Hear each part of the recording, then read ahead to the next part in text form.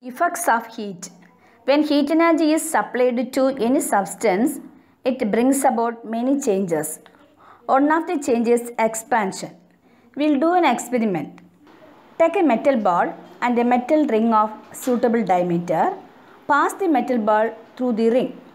We can observe that the metal ball can easily go through it.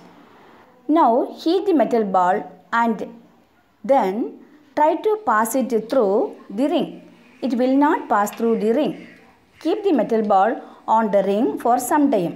In few minutes it will fall through the ring. Why didn't the ball go through the ring initially but went through it after some time? When the ball is heated, the atoms in the ball gain heat energy. They start vibrating and force each other apart. As a result, an expansion takes place. That's why the ball did not go through the ring. After some time, as the ball lost the heat energy to the surrounding, it came back to its original size and it went through the ring. This shows that the heat energy causes expansion in solids. This expansion takes place in liquids and gases also. It is maximum in gases.